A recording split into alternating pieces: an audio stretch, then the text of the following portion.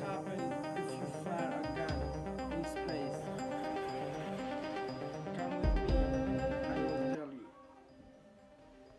If a bullet shot in open space, it will travel forever. It is because of the universe is expanding than the rate of bullet moving